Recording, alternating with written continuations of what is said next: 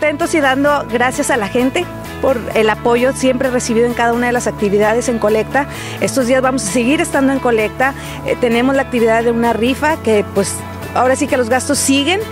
Ahora sí que no nada más es tenerla, sino mantenerla y pues seguiremos eh, apoyando y tratando de dar el mejor servicio que se pueda ya con esta nueva ambulancia. Es una Sprinter 2017, es estándar, eh, totalmente equipada, y pues ahora sí que no se lo deseamos a nadie, yo siempre lo digo, pero pues va a estar ya a la disposición del pueblo de Montemorelos. Con esta son cuatro. Tenemos otras dos que ya están en buenas condiciones, pero con la seguridad, la nueva, pues ahora sí que no tenemos ningún problema por decir si tenemos para cualquier tipo de Un apoyo conjunto, Fundación Azteca nos apoya, delegación estatal y pues gracias al apoyo de todo el pueblo que nos apoya en cada una de el que la gente crea en Cruz Roja, el que se detenga a dar la colecta, aunque sea un peso, 10 pesos, logramos esto que hoy estamos haciendo.